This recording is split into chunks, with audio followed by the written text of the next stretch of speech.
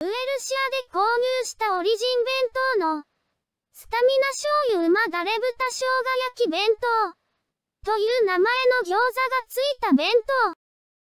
税別560円半額引きで購入した。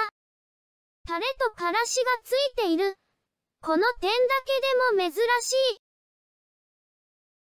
餃子3個は小さいですが、衣はパリッと系の出来でタレとからしで適度な味。小袋のタレは、もしかすると生姜焼き用かもしれないけど確認していませんでした。鶏唐揚げ一つは適度な味変要素。豚肉の生姜焼き、パスタ少量、肉多めタレ少なめ、玉ねぎなし。卵焼きは普通。しば漬けが少量。オリジンで販売している生姜焼きがセットのメニューは多々ありますが、餃子漬けの変わり種という点で好印象。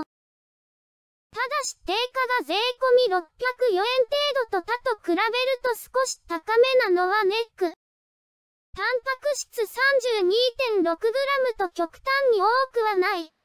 炭水化物 118.1g と結構な量。ご飯は美味しくはないので、おかずのみが良い気がするけど、ウエルシアにはおかず単体はないんだよな。